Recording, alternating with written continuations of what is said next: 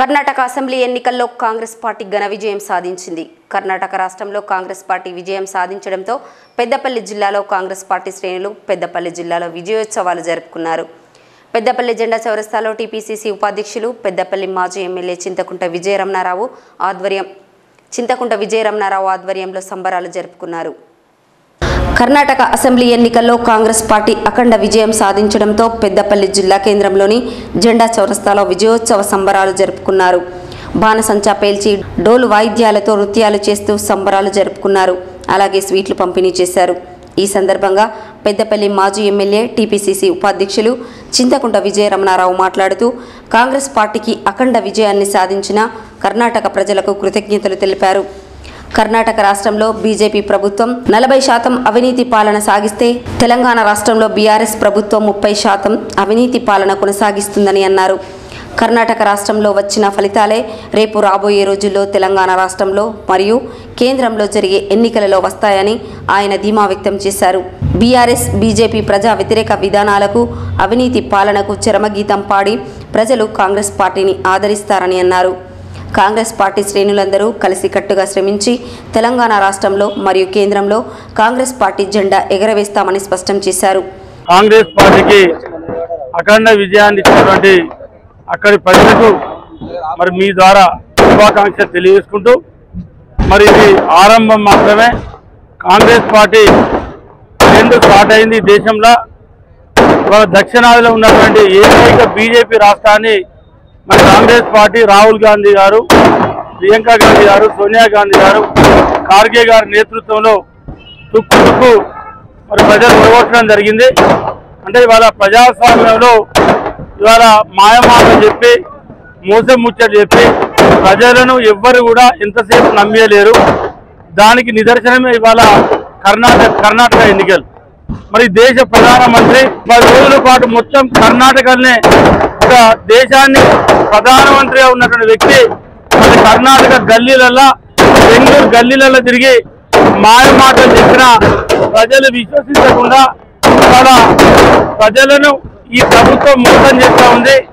ఇది నలభై శాతం కరప్షన్ ప్రభుత్వం అనేటువంటి ఆలోచనతోనే ఇవాళ బీజేపీ ప్రభుత్వాన్ని మరి తుక్కు తుక్కు ఓడించి భారతదేశంలో రేపు జరగబోయేటువంటి రెండు వేల ఇరవై నాలుగుల సర్వాత్రిక ఎన్నికలు కానీ దానికన్నా ముందు జరిగేటువంటి ఐదు రాష్ట్రాల అసెంబ్లీ ఎన్నికలు ఇరవై మూడులో జరిగే ఎన్నికల్లో కానీ మరి పక్కన దక్షిణాది రాష్ట్రాలలో కర్ణాటకను ఆనుకున్నటువంటి తెలంగాణ రాష్ట్రంలో కూడా గత నలభై రోజుల నుండి ఉత్కంఠగా ఈ ఎన్నికల కోసం తెలంగాణ తెలుగు ప్రజలు అటు ఆంధ్ర ప్రజలు కూడా ఎదురు చూస్తూ ఉన్నారు.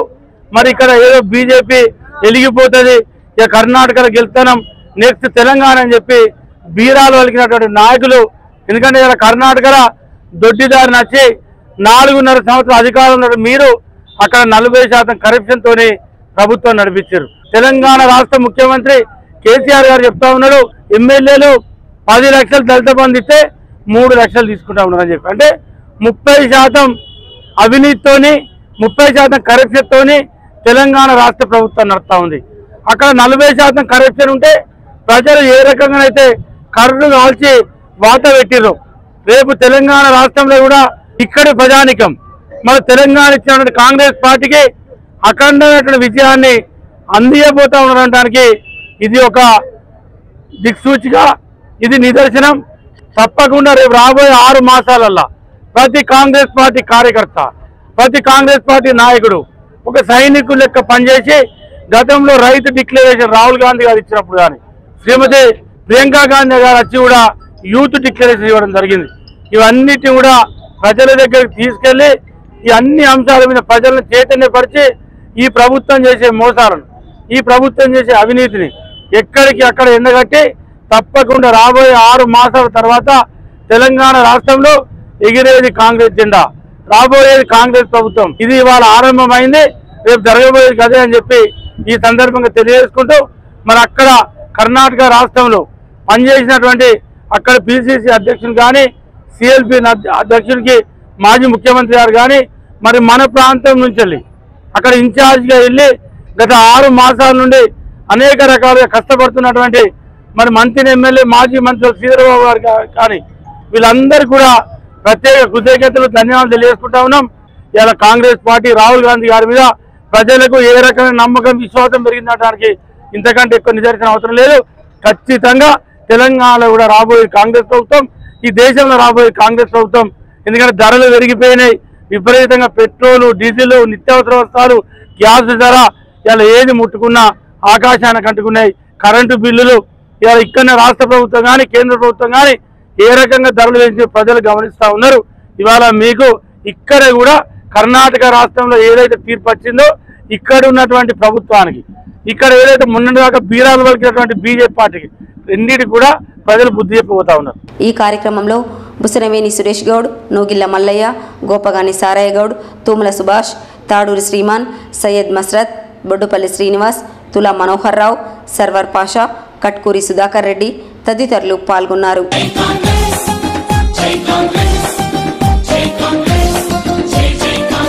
మనకు మహామహులనిచ్చింది. మన దేశమంత మెచ్చింది ప్రాజెక్టులన్నీ కట్టింది. పల్లె రూపురేఖ మార్చింది.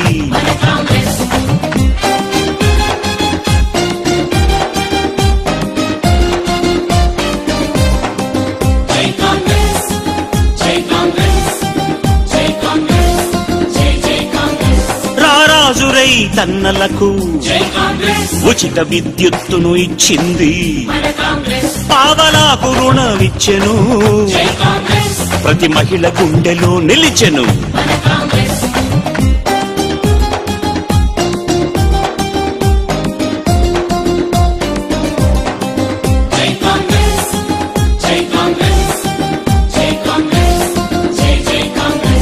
పేద వృద్ధులకు పెన్షన్ ఇచ్చి వాళ్ళ చిరునవ్వై వెలిగింది. ప్రమాదంలో రక్షించి ఆరోగ్యశ్రీని ఇచ్చింది.